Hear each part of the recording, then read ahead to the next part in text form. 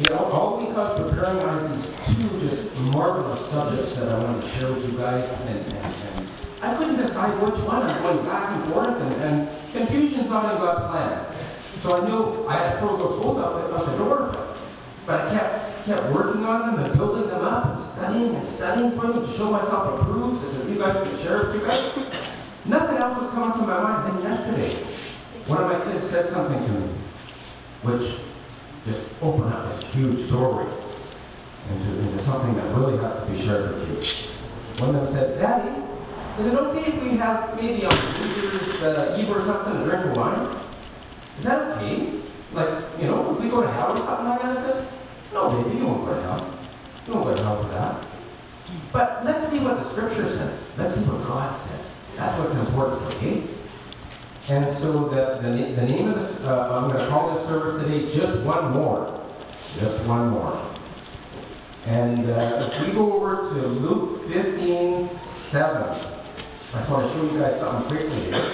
Since just one more, I searched it up and I found it in the scriptures. I say unto you that likewise joy shall be in heaven over one sinner that repenteth, more than over ninety and nine just persons which need no repentance. So there's 99 people in here. God's just looking for that one sinner to repent. And there's other places in the scriptures that tell us that angels shout for joy when one sinner comes to repentance. But notice it says to repentance. It doesn't say easy believe. Oh, I believe there's repentance, repentance, repentance. That's what churches don't preach today, repentance. So we're going to go over to Peter, the book of Peter, to start this off. And we'll go to 1 Peter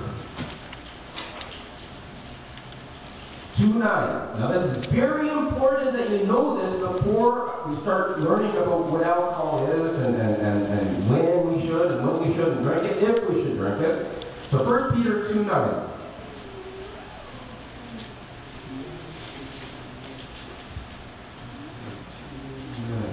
That's not that.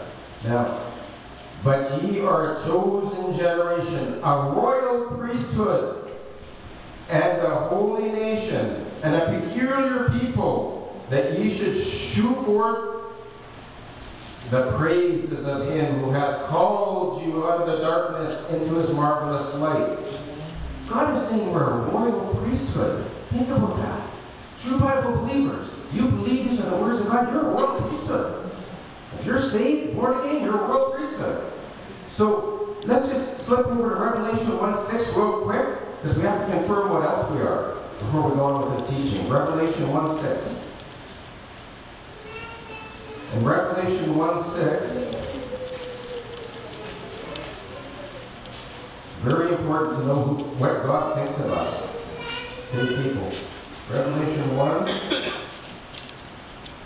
6 and have made us kings and priests unto God and his Father. To him be glory and dominion forever and ever. Amen. All the glory goes to God. We become kings and priests. So when I start teaching you about alcohol, I'm mentioning kings, priests. Listen carefully. Okay? And the first scripture we're going to, you know, there's actually pastors and churches that defend drinking. Yeah, okay to go to the bar.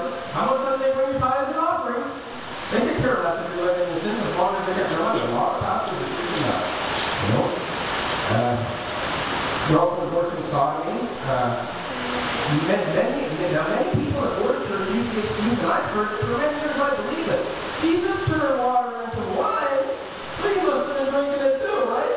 So what's the big deal? Right? Jesus turned water into wine. How many people have heard that? How many people have heard, uh, uh,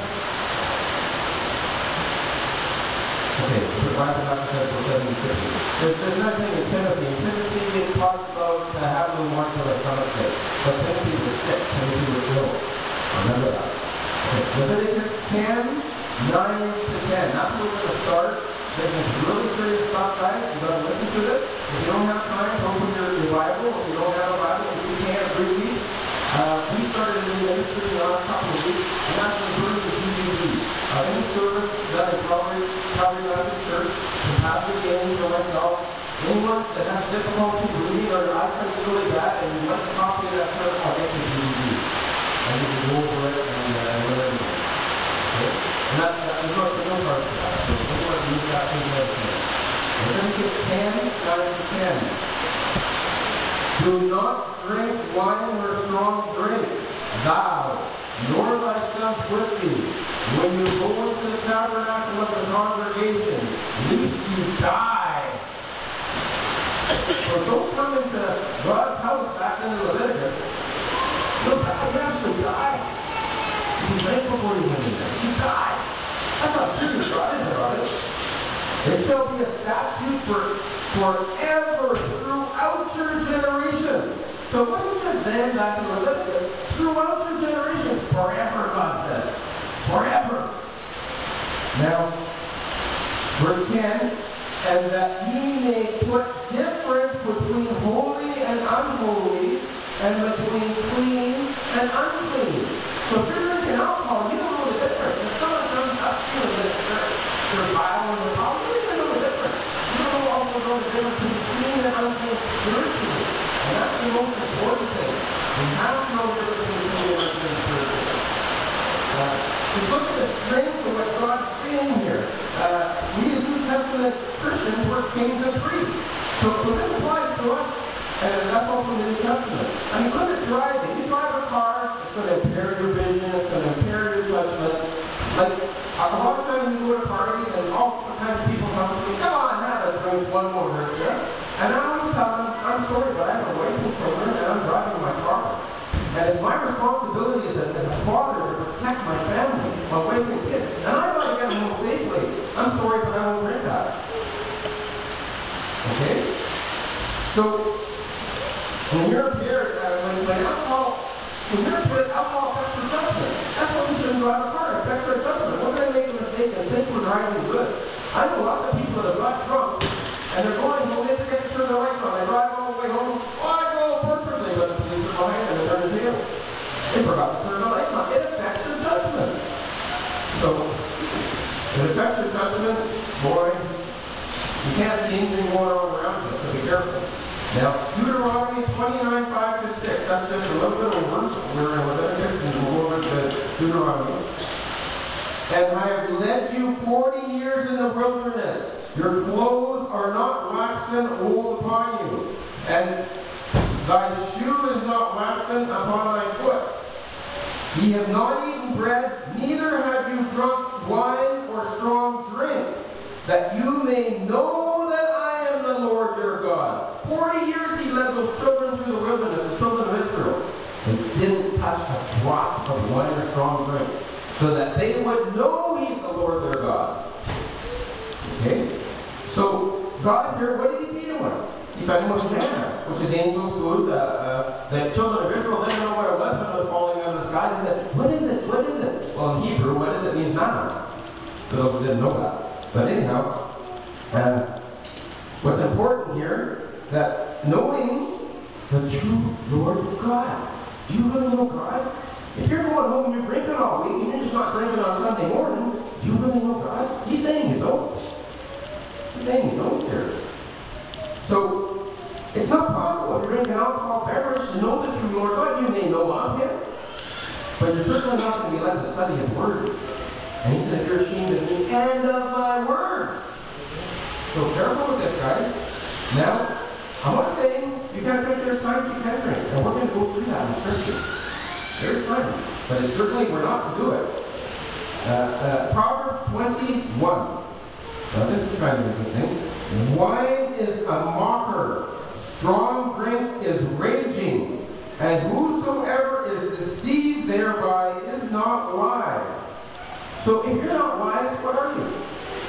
He's saying if you're deceived with wine and strong drink, you're not wise, right? You're a fool. That's what God's telling us here. You're a fool. I didn't say it, he did. So, now, the opposite what the like is a fool. So if we go down to Proverbs, it's going to start to get interesting. Proverbs 31, 4 to 5. It is not for kings.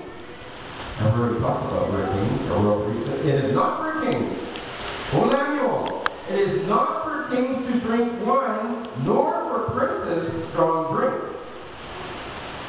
Lest they drink and forget the law and pervert the judgment of any of the affected uh, of the affected, afflicted, sorry. Now, you guys, some of you guys have little kids here, I see that, They probably go to your babysitter because, you know, you want to go to work, and somebody's got to take care of kids. Maybe your babysitter sipping a glass of wine or drinking some pollen. Are you going to leave your kids with it? Their judgment is affected, right? You're not going to do that for someone in the world. And God's telling us we shouldn't be doing it. Okay? Of course, and then there's, pilots, bus drivers, cab drivers. If they're there, they're tipping back a bottle of pump. You gonna get in a car with them? You better not. You better teach your kids not to do. Okay. Now Isaiah. This is where God is getting very serious. Isaiah 5, 11 to 14. When God says, whoa, and some parts of Scripture he says, whoa, whoa, whoa. When God says, whoa, God's getting real serious, guys. So Isaiah, 5, uh, Isaiah 5, 11 to 14. Woe unto them that rise up early in the morning, that they may follow strong drink, that continue until night, to wine and blame them. So they're mixing their alcohol too.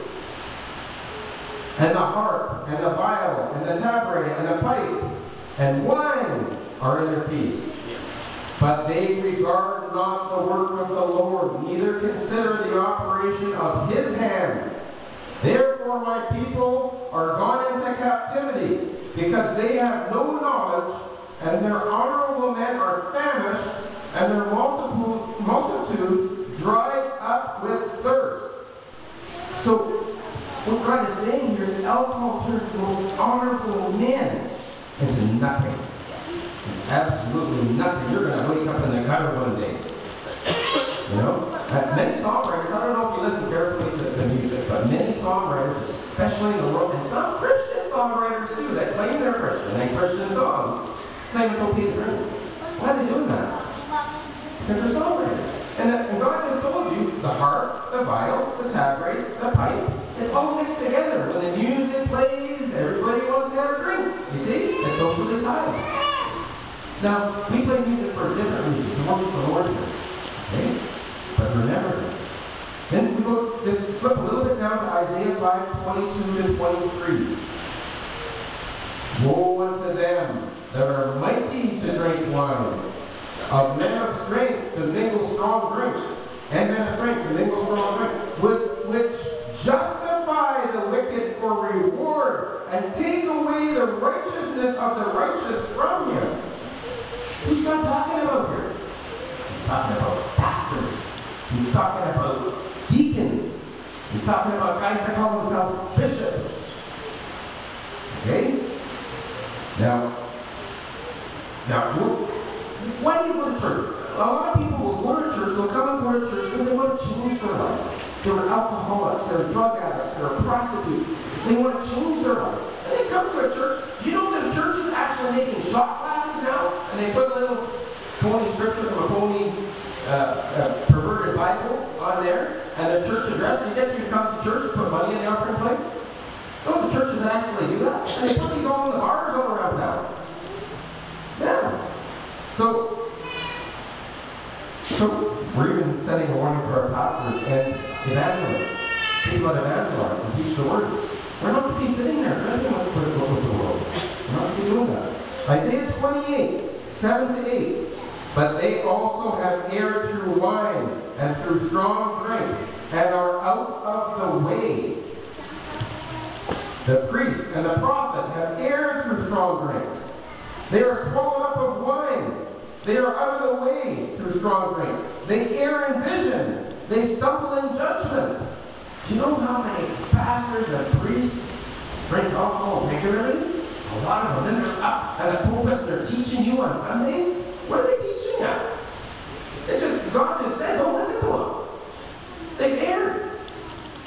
You know, for all the tables are full of vomit and filthiness. So there is no place clean. What these guys are teaching is filth. You better know what your pastor's doing. You better know what he's preaching.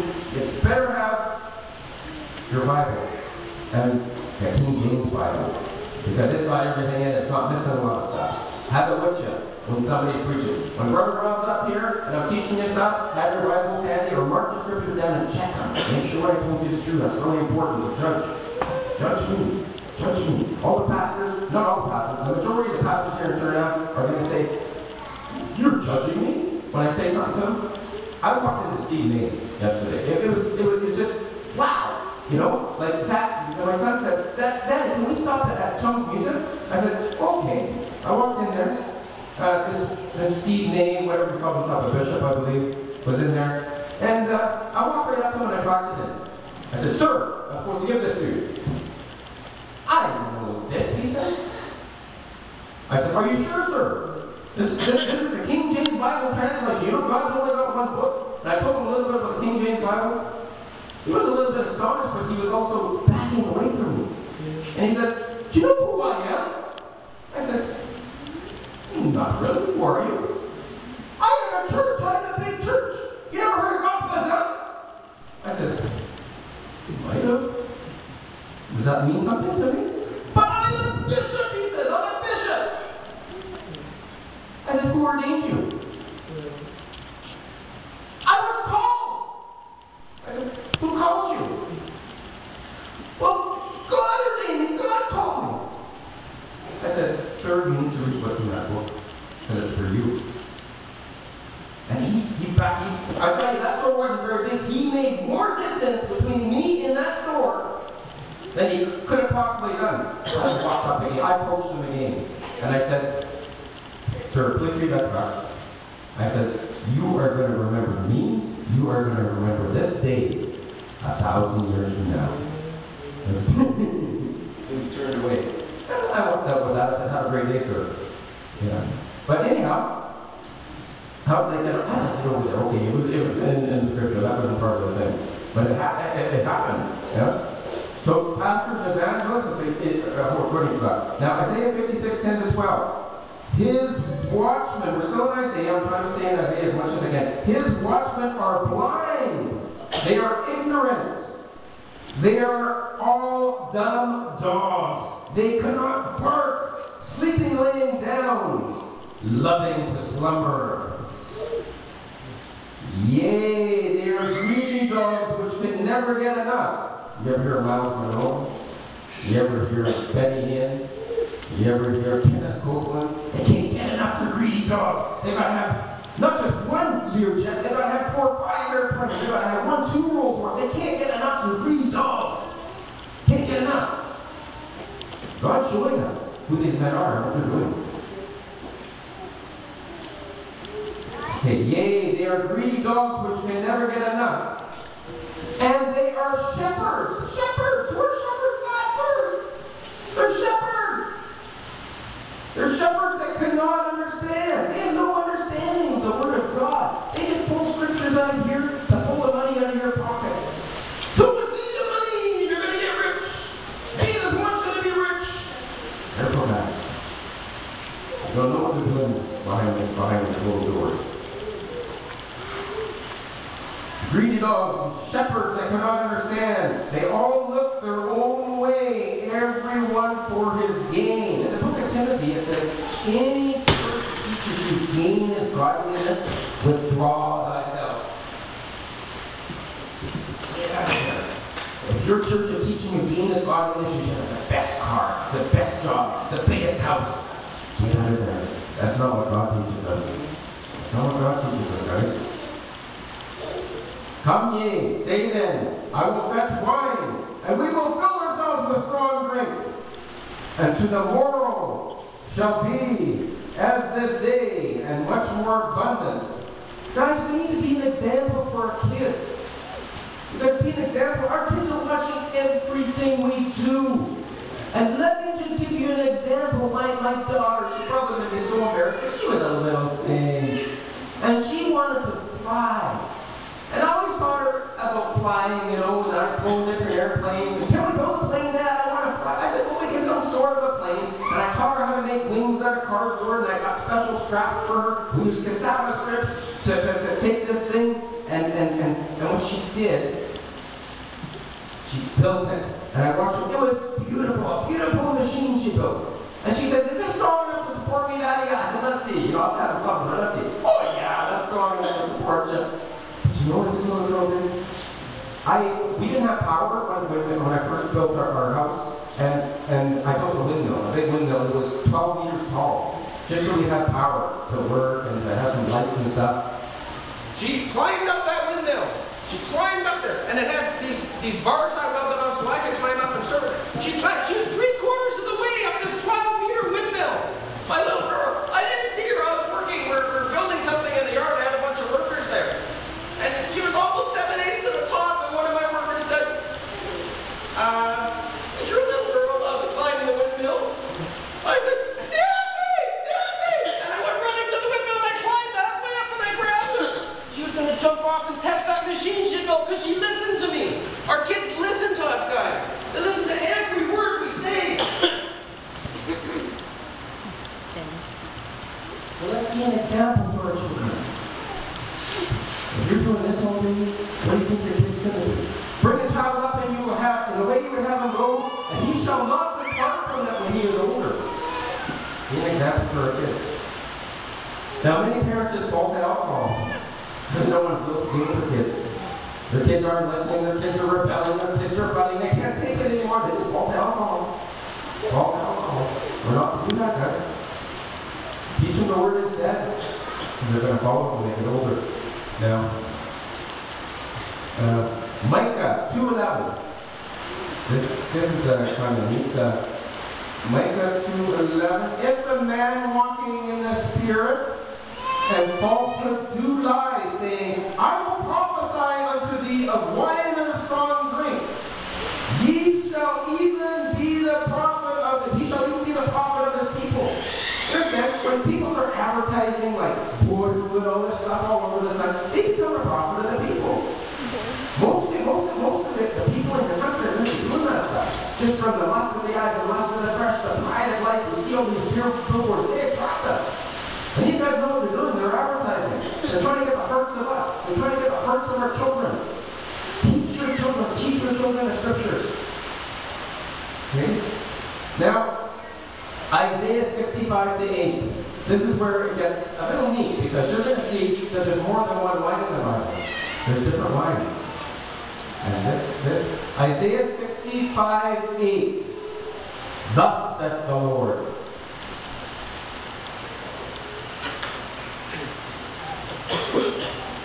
And the new wine is found in the cluster. And one said, Destroy it not, for a blessing is in it. So will I do for my servant's sake, that I may not destroy them all. Okay? Now let's go. When I, was, I, I quickly got this, this picture together. I quickly drew it. And then my daughter said, I know what you're teaching, Dad. You're teaching about Pharaoh and the cupbearer. And I said, right, baby. Very good, you're okay. Uh, Genesis 49 to 13. Let's see what and how this relates to this. Genesis 49 to 13. And the chief butler told his dream to Joseph and said to him, In my dream, behold, a vine was before me, and the vine were three branches of it. And sorry, and in the vine were three branches, and it was though it budded, and her blossom shot forth, and the clusters thereof brought forth grapes. And Pharaoh's cup was in my hand, and I took the grapes, and I pressed them into Pharaoh's cup, and I gave the cup into Pharaoh's hand. And Joseph said unto him, This is the interpretation of it. The three branches are three days. Yet within three days shall Pharaoh lift up thine head and restore thee in thine place, and thou shalt deliver Pharaoh's cup into his hand after the former manner when thou wast his butler. Squeeze straight from the grapes, grape juice. That's the wine. That's the wine. Okay? There's another wine, we'll get to that later. Matthew 26, 29. But I say unto you, I will not drink henceforth of the. This is Jesus talking. I will not drink henceforth of the fruit of this vine until the day when I drink it new, new wine. And the Bible says new wine is not grape juice. New wine. And Jesus said, when I drink it new with you in my Father's kingdom, grape juice. Squeeze, drink the wine. So where's the new wine vine? In the grapes of the mustard. Hmm? Uh, John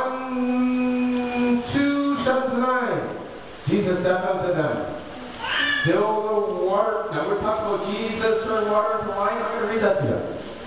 Jesus uh, said unto them, Fill the water pots with water. And they filled them up to the brim, right to the top. And he said unto them, Draw out now and bear unto the governor of the feast. And they bear it. The governor knew there was no wine there. There's water, but the governor knew there was no wine there. And when the ruler of the feast tasted that it was made wine, and knew not whence it was, but the servants which drew the water knew. The governor of the feast called the bridegroom. Now, does it say anywhere, anywhere here that Jesus drunk that wine? He turned the wine into water into wine. It doesn't say the wine. So, let's go on a little further. We know that Noah was a drunk. Noah was a righteous man, but he was also drunk. Okay, how do we know that? Genesis 9, 20 to 22. And Noah began to be a husbandman, and he planted a vineyard, and he drank of the wine, and was drunken, and he was uncovered within his tent. And Ham, the father of Canaan, saw the nakedness of his father, and told his two brethren without. So, we know that Noah drunk. Does that justify it? No. Noah had been through a lot. But there is times when the Bible does let us drink. And I'm going to kind of get into that uh, when we talk about it next week. But uh, in 1 Timothy 5.23, I mentioned that to you. Uh, drink no longer water, but use a little wine for thy stomach's sake, and thy often infirmities. So wine can be used at certain times when people are sick. Okay? So I'm just going to uh, finish with a little prayer here, and and and, uh, and then I'll turn it over to Pastor Gaines. And uh, Father God, I don't know who this message is for. Could be for somebody here in the building. It could be for somebody later that, that sees it later. But Lord, just touch their hearts and, and, and just deal with them and let them deal with you about this. And uh, thanks for the opportunity of being here in Jesus' mighty name and passing your word on. Amen. Amen.